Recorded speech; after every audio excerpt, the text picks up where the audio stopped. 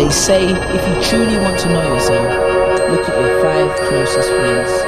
Because you're a reflection of the people you spend most of your time with. Whether you like it or not, like them or not, friends can do two things either push us forward or pull us back.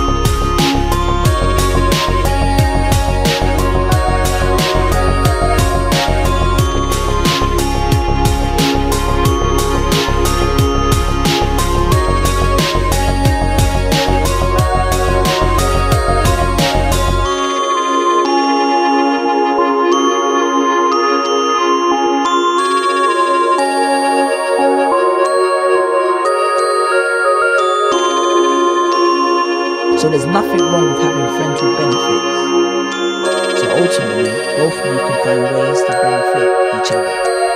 Peace.